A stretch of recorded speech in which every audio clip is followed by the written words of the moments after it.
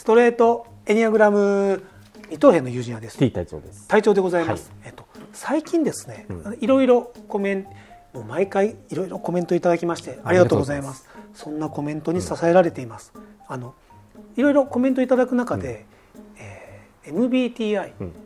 の話題をうん。先に挙げる方が増えてきたなって感じるんですね。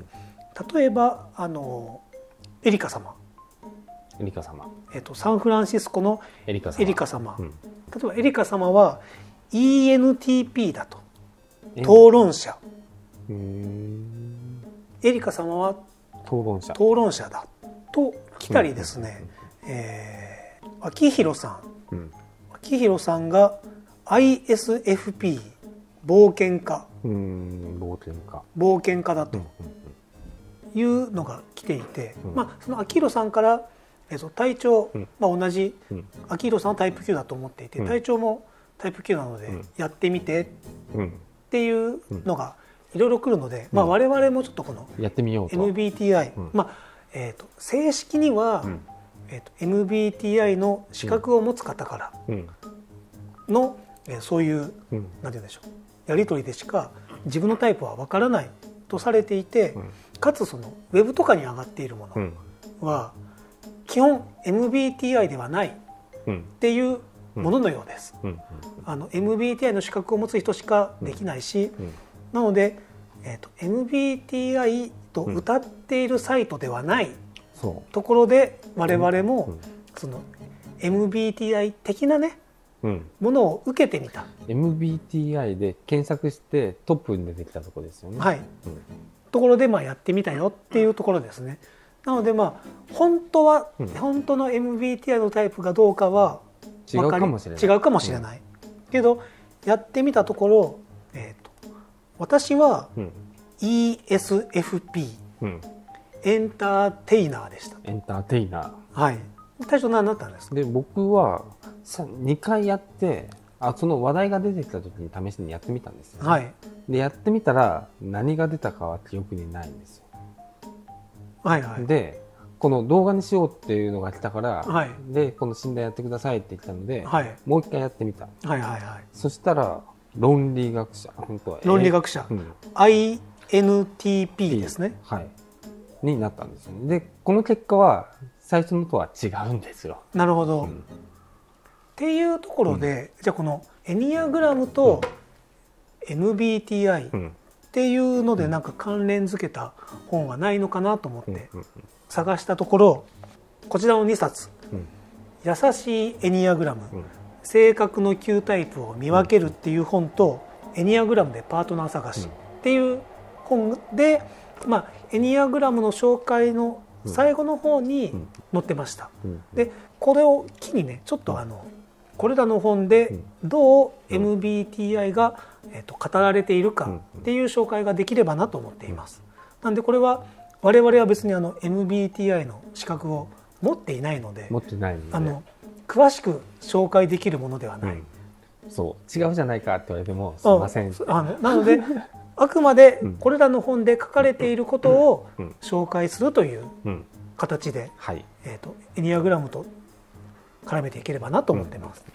まあ、なんで今回はうん。優しいエニアグラムから、うんえーとエニアグラムとユングのタイプとどう対応するかっていう項目でうん。挙げられています。9つのタイプの中にはたくさんの品種がありますがそれらは、うん。えー、と高い評価を受けているうん。マイヤーズ・ブリッグスのタイプ指標。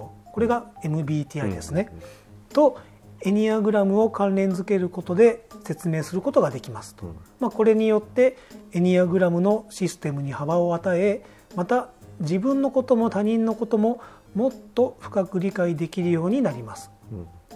まあ、読者の皆さん読者の皆さんですね。は、MBTI の知識をまだ持っていなくともこの章を読めば分かるようになります、うん。読みましょうと。なんで今日は、うん。えっとまずその中でも MBTI 性格指標の概要うん。概要をね、えっとお話しできればと思っています。私たちは MBTI が判断する8つの性格の特性のうちうん。4つ4組からそれぞれ1つずつを優先的に表現するように生まれていると言われています。一章の前半では強い性格を形作るために優先的な特性を強化します。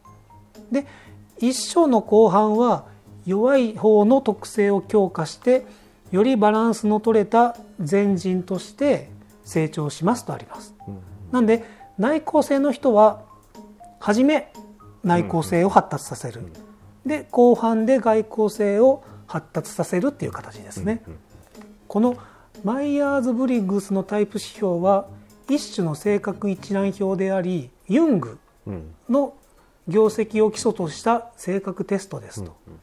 えーと、MBTI ではそれぞれの優先性を4つの尺度で判定します。1外交な世界と内的な世界のどちらに順応しているか、うん、外交性と内向性。E と I ですね、うん、E が外交性、うん、I が内向性、で2が2番目、情報を取り入れたり認知するときにどのような選択をする傾向があるか、感覚と直感。S と N ですね、うん、S が sensing。が感覚。N が直感、えー、 intuitive intuitive ごめんなさいちょっと英語が読めない。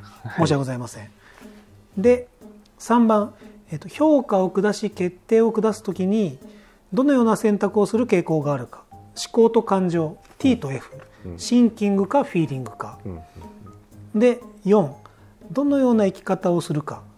組織づけられ併合を求めるか。自発的で解放を求めるか。判断と認知とあります。これは J と P ジャッジかパーシングか。でそれぞれの、まあ、頭文字を取って、まあ、先ほど言った、えー、ISFP とかっていうふうに言うっていうものですね。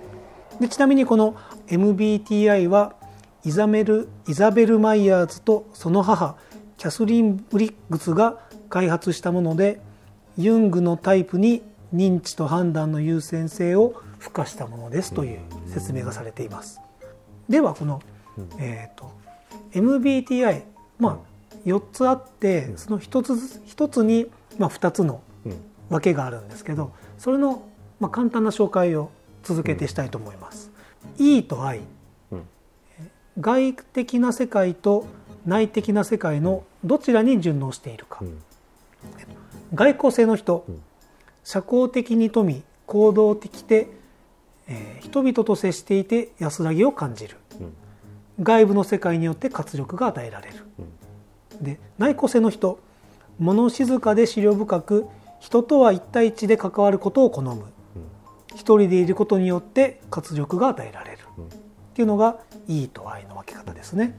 で、えーと、感覚優先か直感優先か、うん、情報を取り入れたり認知するときにどのような選択傾向があるか、うん、感覚 S の人、うん、自分の五感を感じて直接得た情報を信頼する、実際的で現実的で今に生きている、将来の可能性よりも今手にしていることに大きな関心を抱く。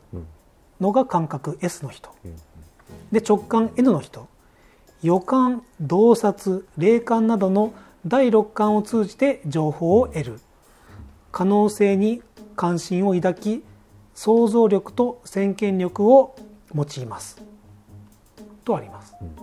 なんでこうやって言われると、まあ、どちらかを多分いろんな問題とかでもどちらかを選択させようとしてこういうのが出てくるんですけどなんか気分とかそのなんて言うんだろうエニアグラムでいうところの気質じゃなくて性格の部分。